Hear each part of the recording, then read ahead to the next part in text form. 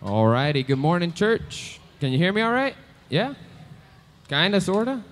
All righty. Well, good morning. Uh, welcome to First Pres. My name is Andrew, and this morning I have the privilege of doing the call to worship, uh, which will come from the 95th Psalm. Um, so if you'll stand with me as we read, uh, and then I'll pray, and we'll begin the service. So this is the word of the Lord. O come, let us sing to the Lord. Let us make a joyful noise to the rock of our salvation. Let us come into his presence with thanksgiving. Let us make a joyful noise to him with, song of, with a song of praise. For the Lord is a great God and a great King above all gods. In his hand are the depths of the earth, the heights of the mountains are his also. The sea is his, for he made it, and his hands formed the dry land. Let's pray. Dear Heavenly Father, we thank you for allowing us to gather here this morning, and what a privilege it is to be your children, and, and uh, that you, and know that you are a great and mighty God, that you are a great and mighty King, and we can depend on you for, for all things, but most importantly, that you are the God of our salvation, and because of that, we can gather here and worship you and praise you uh, in the good times and the bad times, Lord, and we thank you for that. And we pray this in your Son's name. Amen. So, church, as we worship our God this morning, let's remember that, that He is a great God, that He is the God of our salvation. Even when things aren't good and things are bad, we can hold firm to that. And today, as we consider a tough passage in Scripture, remember this, that this is the truth of His Word. Let's worship our God.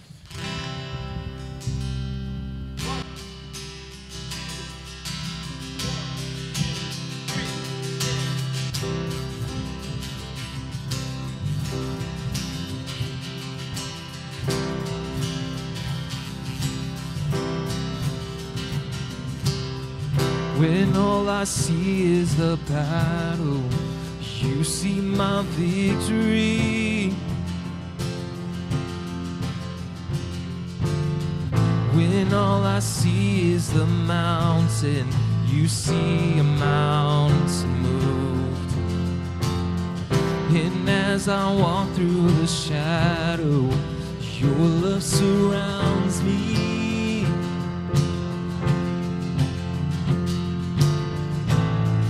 There's nothing to fear now, for I am safe with you.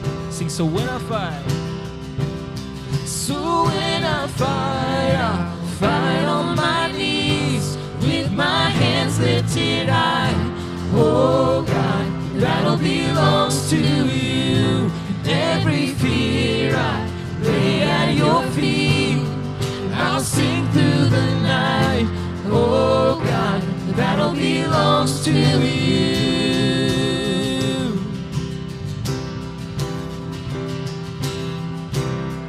And if you are for me, who can be against me? For Jesus, there's nothing impossible see are the ashes, you see the beauty. When all I see is the cross, God, you see the empty tomb. So when I fight, I'll fight on my knees with my hands lifted high. Oh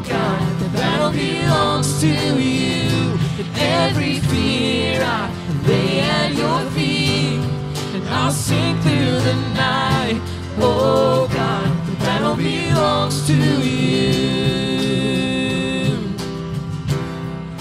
An almighty fortress, you go before us. Nothing can stand against the power of our God. You shine in the shadows, you win every battle. Nothing can stand against the power of our God. He's an almighty fortress. You go before us. Nothing can stand against the power of our God. You shine in the shadows. You win every battle. Nothing can stand against the power Sing that again. of our God. He's an almighty fortress. You go before us. Nothing can stand against the power of our God. You shine in the shadows. You win every battle. Nothing can stand against the power of our God. So when I fight, I'll fight on my knees with my hands lifted high. Oh God, the battle belongs to you. Every fear I lay at your feet. I'll sing through the night. Oh God, the battle belongs to you. Oh God, the battle belongs to you.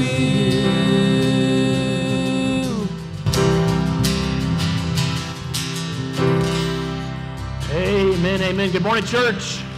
Please have a seat. So, as we sing that song, we're reminded that the battle is real. There is a battle going on, and uh, the good news is that we're on God's side. And because we're on God's side, we win. And so, God is for us and with us and has our back and fights for us. And ultimately, every time we win, it's not because of us, it's because of Him uh, working uh, in and, and through us. Well, pray with me.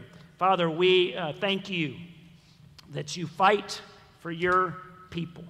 We thank you that you pour out uh, strength into our, our lives. Father, we are all in a battle. The whole Christian life is a battle, and you, you did not promise that it would be easy. In fact, Jesus promised that it would be hard, but you promised that in the midst of the hard, that you would be with us uh, as your people. So pour out your, your wisdom and your grace and your, your strength.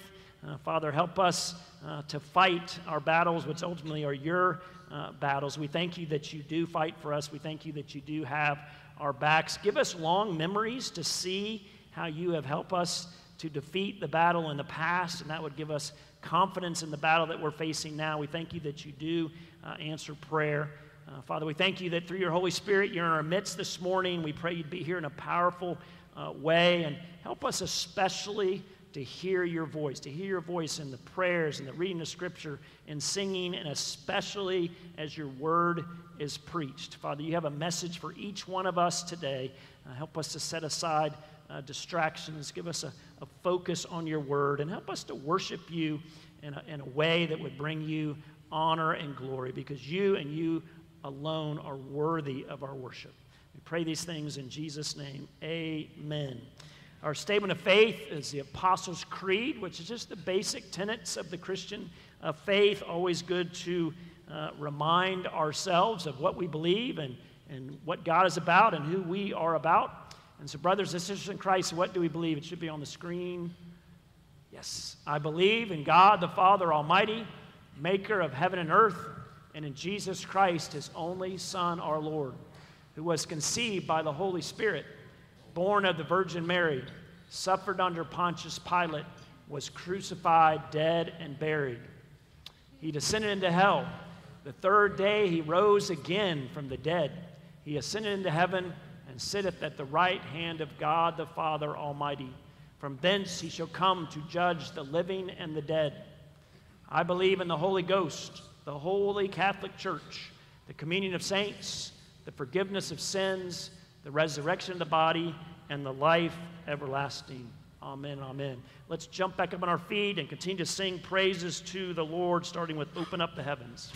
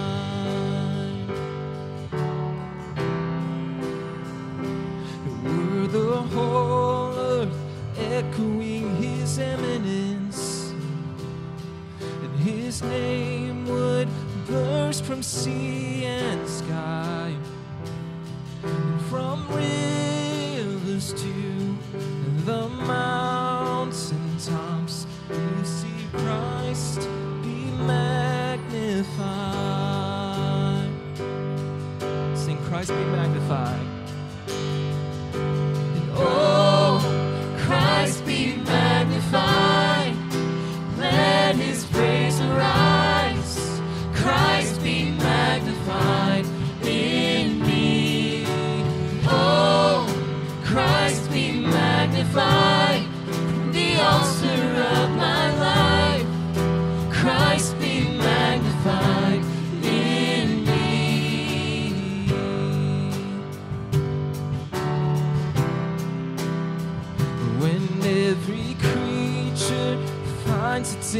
Inmost melody,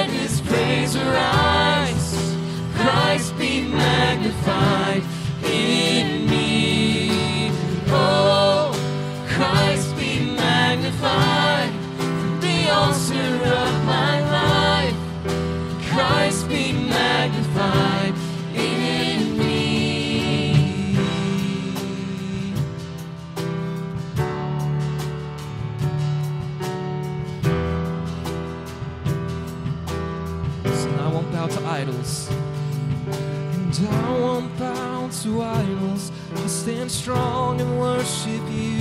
And if it puts me in the fire, I'll rejoice cause you're there too. I won't be formed by feelings. I'll hold fast to what is true. And if the cross brings transformation, then I'll be crucified. Cause death is just a doorway into resurrection life.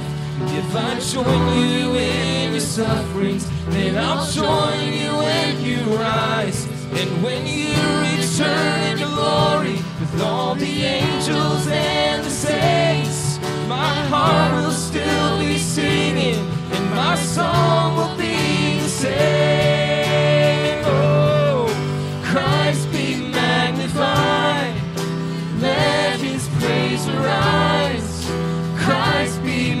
the fight.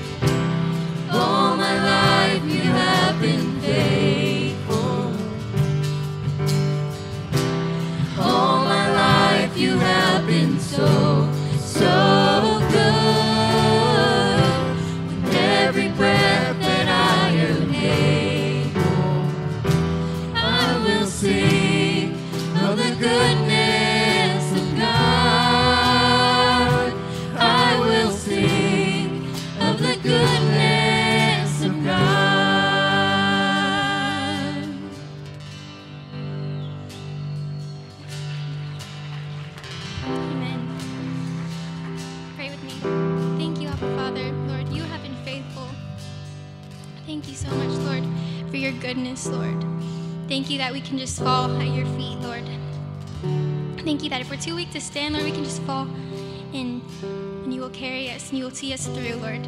You are worthy to be praised and we lift your name on high. Thank you for this day, Lord, that we get to worship you, to rest on you, and to see you in your glory, Lord. Um, I pray that you would open our hearts to your word and that you would bless um, Pastor Mark, Lord, and that he would open his mouth and that you would fill it. Thank you for everything, Lord. We praise you. In Jesus' name, amen. Good, good morning. It's great to be back. I, I have not gotten any taller, but I have lost some weight. I didn't realize I was a little overweight, but all the comments have been, wow, you lost some weight. Thank you. I, if you don't know me, my name is Mark Nelson, and I worshiped here until about a year and a half ago when me and my family left for Orlando. Oh, Drew, Drew told me that too. Children can be dismissed. Great job. You got them trained. Uh, until about a year and a half ago, I left and went to Orlando and finished seminary. And we, me and my wife and three kids, we are going to start a church in East Orlando. Um, we're planting a church up there. We have finally bought a house and we're moving in this weekend. And next month in November, I'm going to have a um, I'm going to have a, a gathering, vision core group gathering with those that are interested. So please be praying for that. The Burlsmans, as, as many of you know, they're, they're, they've moved up there as well and are going to be joining me if they can find a house nearby. It's been a struggle, so please be praying for them as well to be a part of the core group. Um, but the real reason why I came this morning was to the privilege to preach God's word. And it comes this morning from the Gospel of Matthew, chapter 11, verse 12 to 24. Matthew chapter 11, verse 12 to 24. These, this is God's word for you this morning. From the days of John the Baptist until now, the kingdom of heaven has suffered violence, and the violent take it by force. For all the prophets and the law prophesied until John. And if you are willing to accept it, he is Elijah who is to come. He who has ears to hear, let him hear. But to what shall I compare this generation? It is like children sitting in the marketplace and calling to their playmates. We played the flute for you, and you did not dance. We sang a dirge, and you did not mourn. For John came neither eating nor drinking, and they say, He has a demon. The Son of Man came eating and drinking, and they say, Look at him, a glutton and a drunkard, a friend of tax collectors and sinners. Yet wisdom is justified by her deeds. Then he began to denounce the cities where most of his mighty works had been done, because they did not repent. Woe to you, Chorazin! Woe to you, Bethsaida! For if the mighty works done in you had been done in Tyre and Sidon, they would have repented long ago in sackcloth and ashes. But I tell you that it will be more bearable on the day of judgment for Tyre and Sidon than for you. And you, Capernaum, will you be exalted into heaven? You will be brought down to Hades. For if the mighty works done in you had been done in Sodom, it would have remained until this day. But I tell you that it will be more tolerable on the day of judgment for the land of Sodom than for you. Let me pray for this message. Heavenly Father, this is your word, and you've given it to us for a reason. You've brought it here this morning for a reason. I pray that you open our eyes and our ears and you filter my tongue and my thoughts so that you are glorified and we are edified. Amen. When I was in college, I thought I wanted to be a civil engineer. And I thought, well, that's, I like building things. That's, a, that's something good. So I, I had to do Calculus 1 and Calculus 2. But then the second year, I had to go into Calculus 3 to be a civil engineer. And I, I walked in, and I was, I was a little late. This kind of shows my studiousness.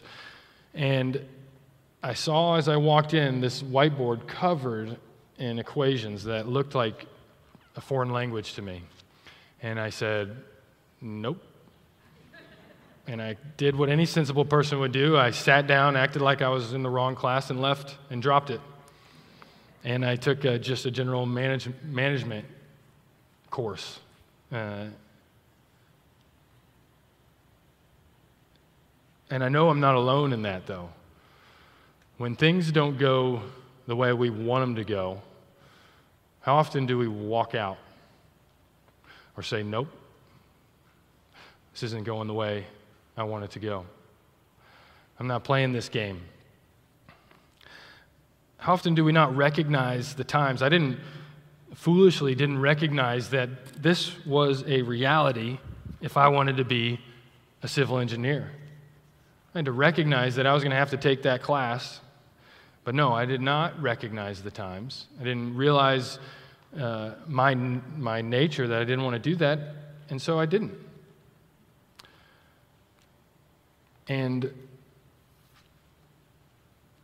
I started with that illustration because it's a little lighter, because this passage is not a light passage. Jesus is calling his, the crowds the world, the peop- us, to recognize the times, to realize our reality, why we are rejecting the message, and to repent from that unbelief, to recognize and realize and repent. And so, as we look at this passage, Matthew 11, chapter 12, verse 24. We see Jesus first calling them to recognize the times that this is the kingdom of heaven has come. It is no longer the times of prophecy of the Old Testament, but the fulfillment of those prophecies has come. The, the, it's like the baby is no longer in the belly, but it's out, it's born. This is a whole new age, a whole new time. And so we get this verse here in verse 12. It's in the, now it's in the middle of a whole section about John the Baptist. So this is a little unfair to me to give me this verse. Ray did that to me because uh, it is one of the more difficult verses to interpret. And so, verse 12 says, The kingdom of heaven, from the days of John the Baptist until now, the kingdom of heaven has suffered violence, and the violent take it by force. Now, there's, there's two general ways that this verse is translated or interpreted. And what is most important here is that we understand the context. Like I said, in the middle of, of John the Baptist calling him out. So, the first way, the kingdom of heaven suffers violence, or the King James suffereth violence is to take it in a positive is, is to take it in a positive sense. I'm sorry, to take it in yeah, the first way is to take it in a positive sense that that the Greek in this verse can be legitimately translated in a positive way so that the kingdom of heaven forces its way forward. That's a legitimate translation it forces its way forward, and violent people take it by force. So, a positive spin on that is that the kingdom of heaven comes violently and it acts powerfully. And only those that act powerfully or violently enter it. And that's a, that's a, that's a legitimate translation. That's, that is the message that John the Baptist and Jesus said. They came and said, The kingdom of heaven has come. Repent and believe. Deny yourself Keep with the fruit of bearing repentance, John says. Self denial is a violent act, it is hard, it is not easy. If anybody, hopefully, we have all been trying to walk that path. It takes force, it takes determination. But the second, second way to interpret this passage is in, in, in a negative connotation where the kingdom of heaven suffers violence. This is the majority of the translations translate the Greek this way that, it, that it's passive, it suffers violence, and the violent try to take it by force, try to force it. And I believe this is, this is the way to take this in this context. Jesus is calling the disciples, the crowds, to recognize the times. Out of, out of context, this verse can, can mean a lot of things. But right here, he's saying, The kingdom of heaven has suffered violence, and the violent take it by force. For all the prophets in the law prophesied until John.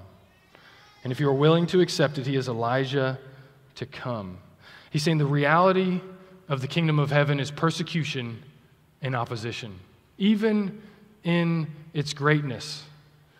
In chapter 10, right before this, Jesus tells it to his disciples. He sends them out, right? He tells them to go out and cast out demons, to heal the sick, to spread the gospel. And what does he say in verse 16? Behold, I am sending you out as sheep in the midst of wolves. Be wise as serpents and innocent as doves. Beware of men, for they will deliver you over to courts and flog you in their synagogues. And then verse 22 And you will be hated by all for my name's sake but the one who endures to the end will be saved. When they persecute you in one town, flee to the next. So Jesus is, is telling these crowds the time has come of fulfillment. The kingdom of heaven has come. It is not a cakewalk. The message, the gospel, does not come in and fit into your nicely packaged life, as, as the Pharisees and the Jews had it. They said, Well, I've got this all figured out. When the Messiah comes, he's going to just tell me I'm doing everything perfect and great. No, the, the kingdom of heaven, the gospel comes in and it is full of persecution and opposition. And the time of prophecy is over and the day of the Lord has begun. This reality shift has come. And Jesus is calling them to recognize the times. And we know more about that because he calls John Elijah in verse 14. Why does he do that? Because the last words of God to the Israelites was in Malachi. We have recorded in Malachi at the end of our Old Testament, Malachi chapter 4, verse 5. God's last prophecy, his last words to his people were Behold, I will send you Elijah, the prophet, before the great and awesome day of the Lord comes. And then for 400 years, he was silent. For 400 years, they were looking for Elijah, or they had forgot about him. They obviously didn't recognize him when he come, when he came in John the Baptist. They even asked him, "Are you Elijah? And John said, uh, No, I'm not Elijah. But here Jesus says he was Elijah. What G- John was answering the Pharisees, no, I'm not the reincarnation of Elijah to come.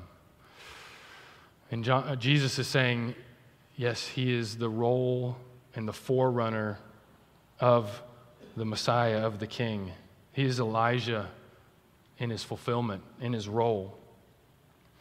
And so Jesus starts out with the crowd and says, Recognize the times. It's just like up north. Some of you are from up north. When the leaves change, what's coming? Summer? No. Winter. John has come prophesying in the role of Elijah. Or here in Florida, if you don't watch the news and the weather and you sometime in July and August go to the go to Publix and there's no water on the shelves, what's coming? A hurricane.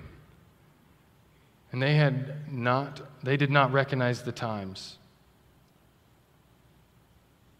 They did not recognize the severity of the message of the kingdom of heaven, of denying ourselves and following him, because it didn't fit in their paradigm.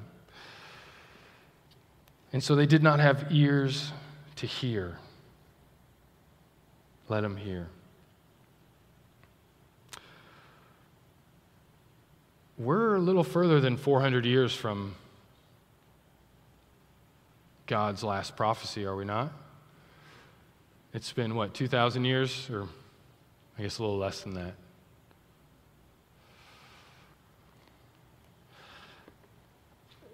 And yet, Jesus' words are the same to us today to recognize the times and what he's calling us to see.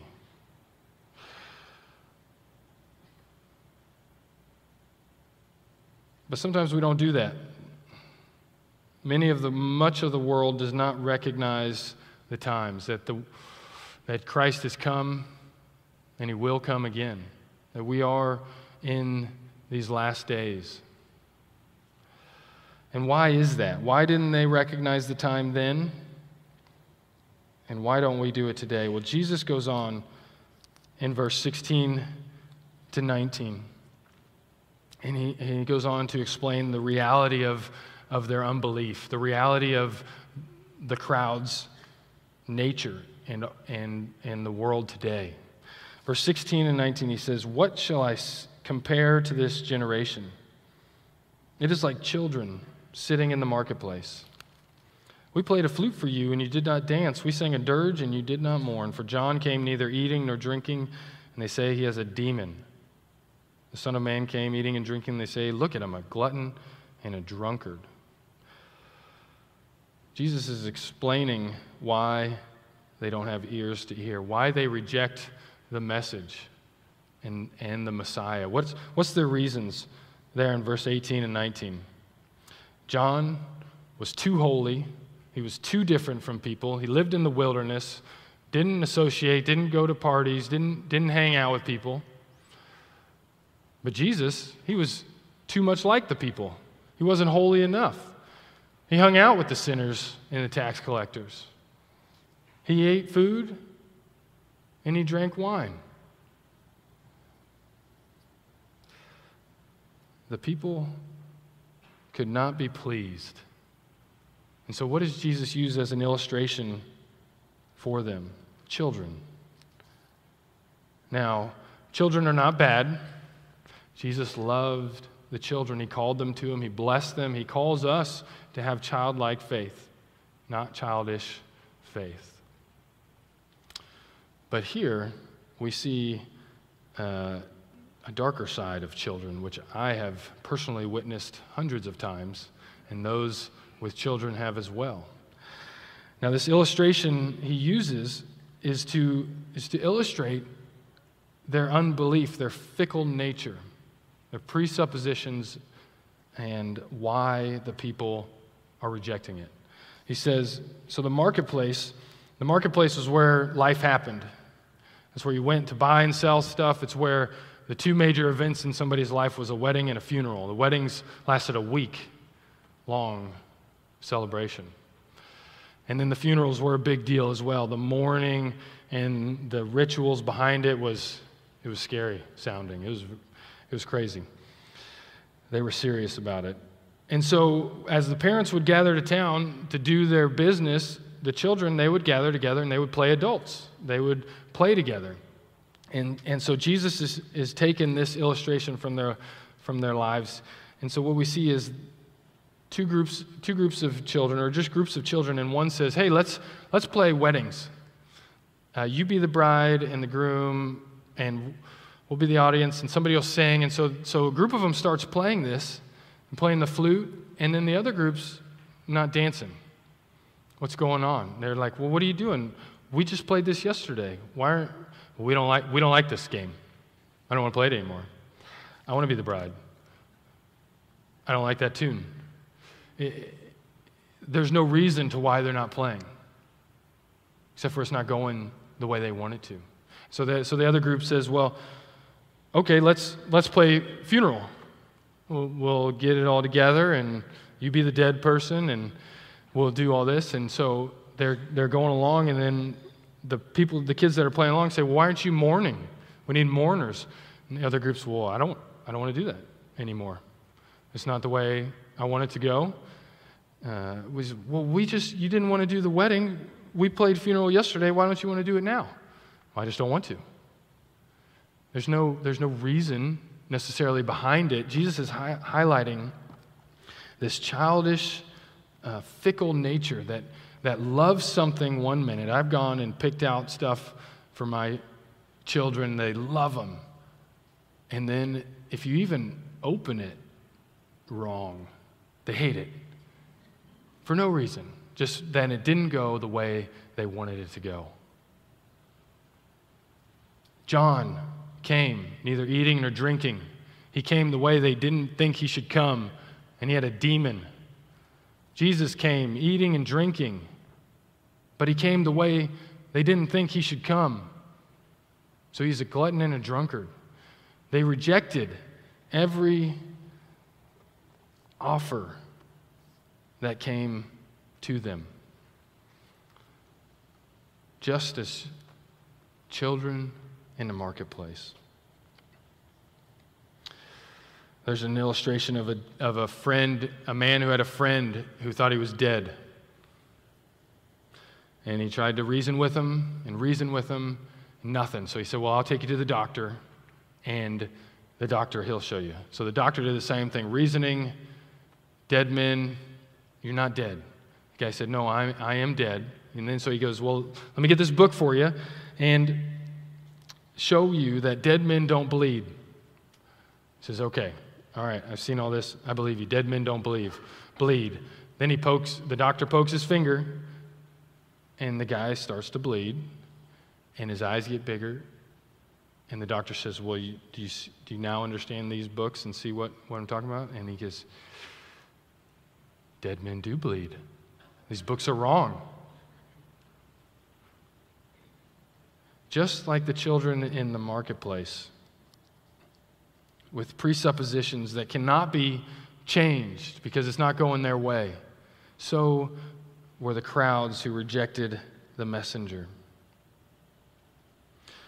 So it is with, with all today. We cannot if you've done any witnessing, there's a million reasons as we try to reason with people. There's a million reasons why they don't need Christ. But behind that, all of those reasons is, is the fundamental desire to be in control, to be God. Going back to Adam and Eve. I don't want you to tell me what to do, God.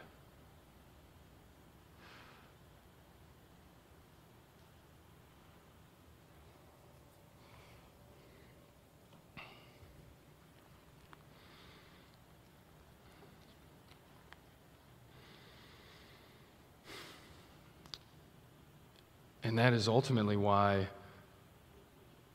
people don't have ears to hear.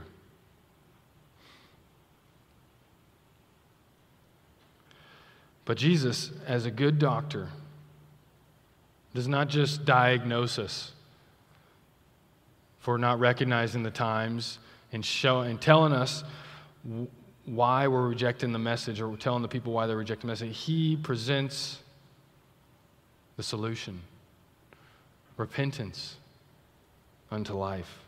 Verses 20 to 24, we see that he turns now and denounces the cities where most of his mighty works had been done because they did not repent. What we see here, Jesus is, is saying that with greater revelation comes greater accountability. These cities were denounced because he did most of his mighty works in them. And they're not denounced because they didn't recognize them as mighty works. And they're not denounced because they didn't take advantage of them or, or make their lives better with these miracles and just throw them away. They're denounced. They're pronounced woes on these cities because they did not repent. The mighty works of Jesus were to reveal himself, who he is to the people. To show that the kingdom had come, that the times of, of prophecy had ended and the fulfillment had come. The power of the kingdom had come. And what happens? They deny him. And so he says, he compares them to these cities of old, of Tyre and Sidon which were wicked cities, pagan cities. They had, they had nothing that resembled a worshiping of God in them. And he says, They would have repented in sackcloth and ashes if I had revealed myself to them. And then he goes on to Capernaum and says, Will you be exalted to heaven? No, you will be brought down to Hades because you've rejected my revelation to you. If Sodom, we are familiar with Sodom, the wicked city of sexual immorality, of selfishness, of pride, of haughtiness, if Jesus had revealed himself to them and they repented, they would have been here until this day, Jesus says. Sodom.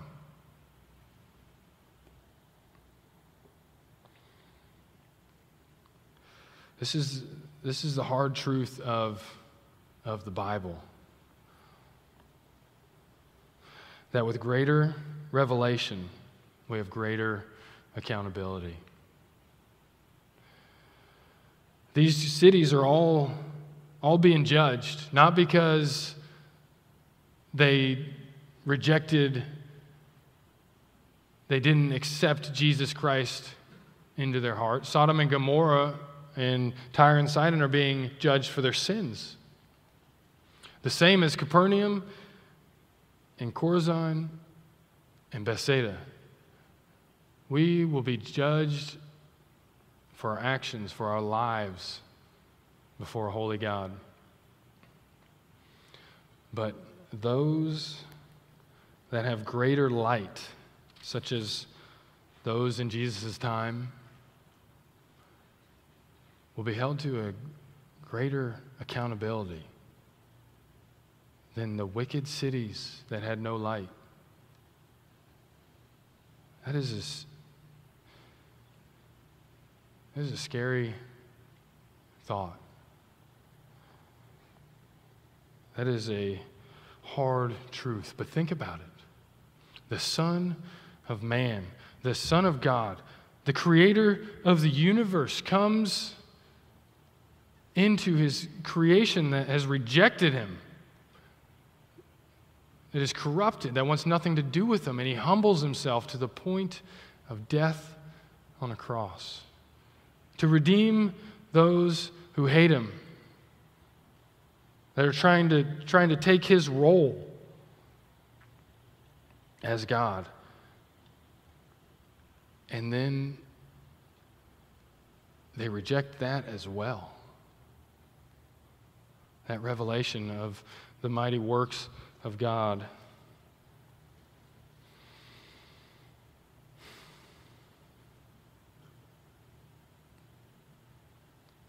What about today?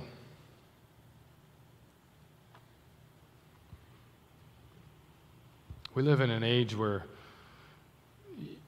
everybody's got a Bible on your phones, all over the place on billboards. I mean, the, the message is out there.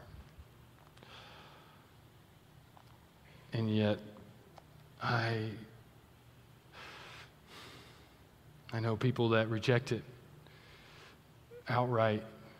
The clear message. They don't want to be, they don't want to, they don't want it. But that is not the end.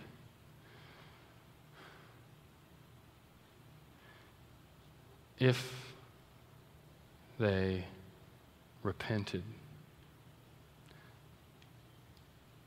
they would be there still today, those cities. We are not locked in on our sin and in our rejection of the gospel message until we're in our graves. There's never a time that's too late to recognize, to recognize the times that we're in. The Christ has come and he will come again.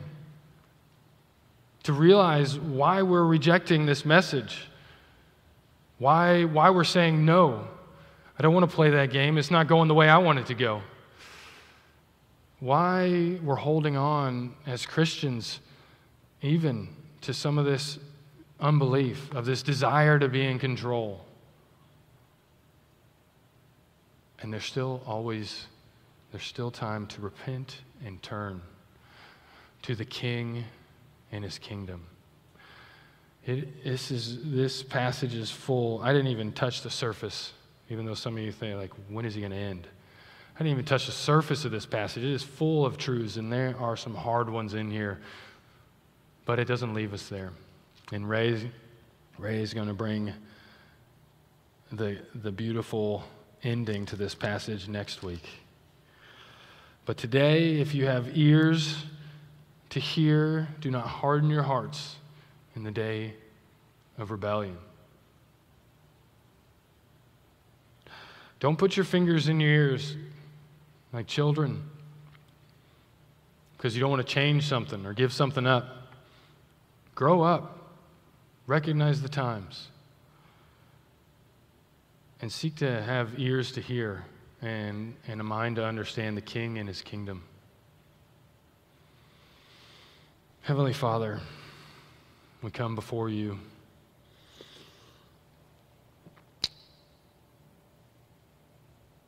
In the midst of this truth, that there will come a day of judgment that there will come a time when we will answer for our actions, for our, for our childish, childishness, for our rejection. And I pray that you give us ears to hear and eyes to understand, to turn, Lord. And I thank you for opening the ears and eyes of many here today. I pray you continue to do that. And I thank you for your gospel message, your Son who has come to give us this relief. In Jesus' holy name, amen. I don't really know what to do next. Sit down. Okay. So, Mark, thanks for uh, sharing God's word, even when uh, the truth that's hard, because it's still the truth, right? Amen. And thanks for giving us the privilege to. Uh, be supportive, to be gospel partners in what you're, you're doing up there in Orlando. Please stand for the blessing. This is uh, God's uh, blessing based on a prayer in Colossians chapter 1. May you be filled with the knowledge of God's will and all spiritual wisdom and understanding, so as to walk in a manner worthy of the Lord, fully pleasing to Him bearing fruit in every good work and increasing in the knowledge of God this day and forevermore. Amen.